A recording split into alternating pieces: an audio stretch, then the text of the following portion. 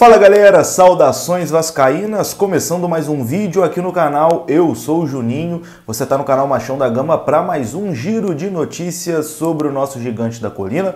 Vamos atualizar aqui todas as informações sobre o nosso Vascão e claro, você que está chegando aqui pela primeira vez, eu conto com você, né, meu amigo? A gente está aí buscando os 150 mil vascaínos, falta pouquinho, então se inscreva, se inscreva, faça parte aqui do nosso canal, dá essa moral, compartilha aí o vídeo com mais amigos vascaínos, naquele grupo de WhatsApp cheio de vascaíno, dá aquela moral lá compartilhando o vídeo e deixa o like também. O like é importante para o vídeo ser recomendado aqui para mais torcedores do Vasco, beleza? Nesse girão de notícias, a gente vai falar sobre a notícia de hoje à tarde, né? Que mais chamou atenção, que será a estátua de Roberto Dinamite. Roberto Dinamite terá uma estátua em São Januário. Vamos conversar aqui um pouquinho sobre isso. Vamos falar também sobre Lucão, que ganhou a posição do Vanderlei na última partida. E claro, né? Riquelme, meu amigo, tá jogando muita bola e tá virando aí o novo xodó do torcedor vascaíno. O Fernando Diniz elogiou bastante o Riquelme. Tudo isso depois da vinheta que rodou agora.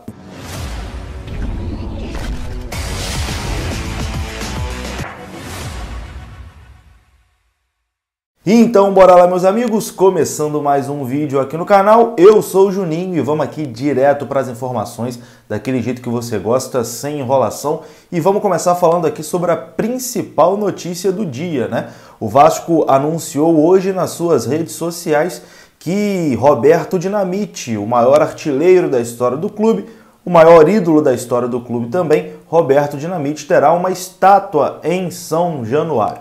O Vasco publicou ali um vídeo na Vasco TV com o Dinamite reagindo à informação. Roberto ficou muito emocionado, né? Quem já teve a oportunidade de conversar pessoalmente com o Roberto sabe que ele é um cara muito humilde, muito gente boa, é, que trata todo mundo muito bem, tem um coração muito bom e se derreteu ali, né, quando descobriu que teria uma estátua em São Januário. Mais do que merecido pelo baita jogador que Roberto Dinamite foi, é, o maior artilheiro da história dos campeonatos brasileiros, o maior artilheiro da história do Vasco também.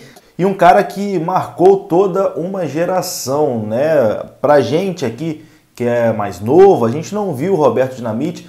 Às vezes a gente tem só aquela imagem do Roberto Dinamite presidente que fez uma gestão bastante conturbada, mas separando as coisas, o Roberto Dinamite jogador foi o maior de todos os tempos vestindo a camisa do Vasco e será homenageado com uma estátua em São Januário. Essa estátua será feita ali com o apoio dos torcedores. O Vasco lançou ali um financiamento virtual, gerou algumas críticas também né, na internet da, da, de torcedores falando: pô, a gente já doou para CT, a gente já paga sócio torcedor, será que não teria como arrumar uma empresa, uma parceira para fazer essa estátua? Teve algumas críticas né, em cima dessa iniciativa, é, algumas pessoas argumentando, e com razão também, né, de que era mais viável tirar isso do colo do torcedor e arrumar uma empresa parceira para bancar esses 190 mil, né, que é o preço da estátua, mas a campanha está indo muito bem. Né? O torcedor do Vasco abraça, não tem jeito, ainda mais quando se trata de Roberto Dinamite, um dos maiores ídolos da história do Vasco, que merece muito é, essa homenagem, essa estátua em São Januário. Então a torcida abraçou e no momento que eu estou gravando esse vídeo, cara, mais de 25% da meta já tinha sido atingida ali em menos de duas horas. Muito provavelmente já deve ter até aumentado, né? Para tu ter uma ideia, nesse momento que eu estou gravando, é, foram arrecadados 56 mil reais. Mas eu vou colocar um print aí de atualização para saber quanto está agora no momento que eu estou editando o vídeo, que com certeza é, já é um valor ainda maior. Então, se bobear, hoje ainda o Vasco consegue arrecadar esses 190 mil reais e o valor ali da estátua do Roberto Dinamite será totalmente quitado e em breve ela será inaugurada em São Januário. Comenta para mim o que você achou dessa homenagem, uma estátua para Roberto Dinamite em São Januário, no gramado de São Januário.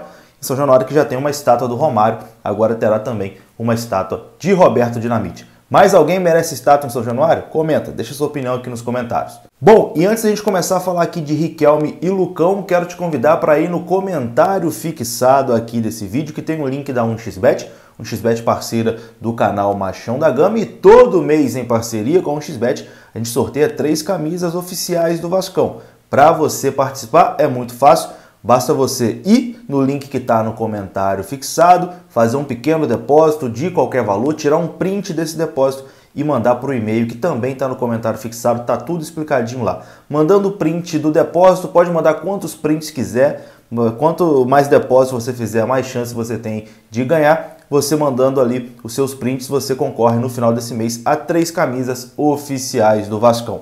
Inclusive, no último mês, Joedson e o meu amigo Lucas Pires ganharam. Confira. Fala Juninho e galera do canal Machão da Gama. Passando aqui para agradecer essa parceria entre o canal e a 1xBet, que me proporcionou a participar e ganhar esse presente maravilhoso. Não fique você de fora, venha fazer parte também dessa promoção. E o Vasco é para quem acredita. Tamo junto. Fala galera, passando aqui para agradecer o canal Machão da Gama e a 1xBet aqui por esse manto aqui do Vascão.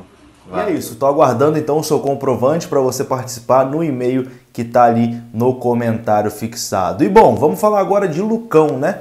Lucão ganhou a vaga do Vanderlei na última partida, pegou muita gente até de surpresa, né? Assim, eu estava no estádio quando saiu a escalação com o Lucão, falei: caramba, o que aconteceu? Será que o Vanderlei sentiu alguma coisa? O Vanderlei vinha realmente mal, né? Mas eu não esperava, por conta da experiência e coisa e tal, que o, o, o Diniz iria barrar o Vanderlei e colocar o Lucão. Mas, ao que parece, o Lucão será titular na próxima partida. Foi isso que o Fernando Diniz disse na coletiva. Primeiro ele explicou por que é, escalou o Lucão, né? disse que o Lucão estava indo muito bem nos treinos e disse que a tendência é que o Lucão continue na equipe titular. Bom, o que me levou a tomar a decisão de começar com ele é a segurança que ele foi me passando nos treinos, o histórico do Lucão também, um jogador que pegou praticamente todas as categorias de base, ele foi para a seleção foi campeão olímpico. Então, um jogador jovem com esse currículo e com aquilo que ele estava demonstrando nos treinos, e é um jogador também que já tinha 15 jogos nesse ano aqui como titular do Vasco, me deu segurança para poder colocá-lo. A gente tinha um ótimo goleiro jogando, que era o Vanderlei, mas eu achei que era um momento, pelo aquilo que estava acontecendo nos treinos, que era o momento de dar uma oportunidade para o Lucão. O Lucão é uma tendência de ficar, mas não tem nada definido. A gente tem dois ótimos, dois não, quatro ótimos goleiros.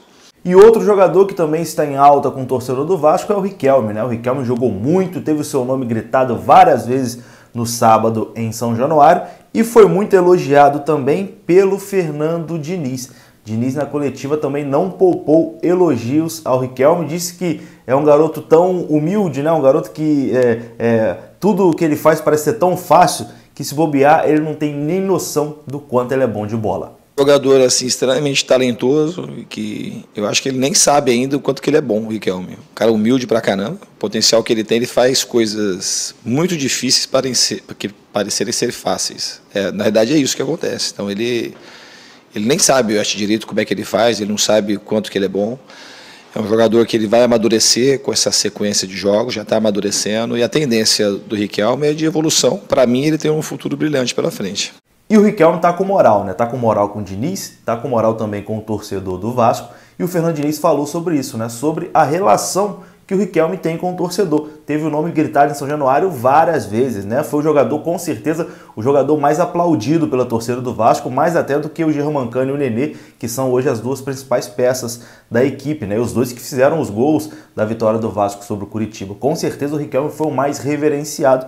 E o Diniz falou sobre isso, né? Falou sobre a relação do Riquelme com o torcedor, como isso pode ajudar e mais uma vez exaltou a humildade do jogador. O o Rico, essa sintonia, quando o jogador tem esse tipo de sintonia com a torcida, e a torcida do Vasco tem esse desejo, esse apelo quando aparece um jogador, e, e o Rico, eu acredito que esse negócio vai andar muito bem, a torcida com ele.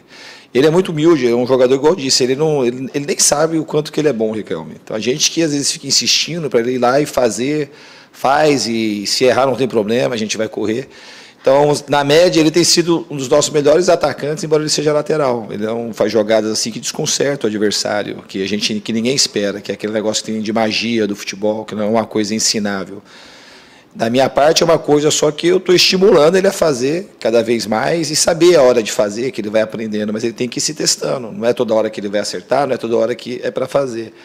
Mas conforme ele vai jogando, ele vai sabendo discernir o momento de fazer, o momento de não fazer.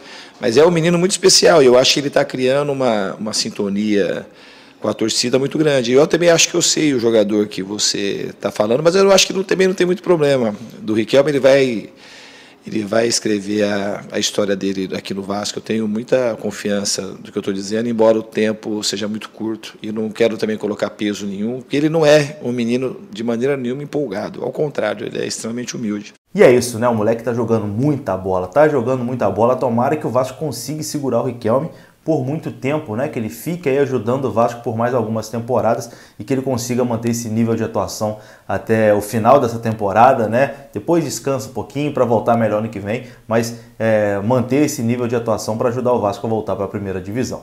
Eu vou ficando por aqui. Se você gostou do vídeo, deixa o like que é importante. Se inscreva aqui no canal. Saudações vascaínas. Até a próxima. Fui.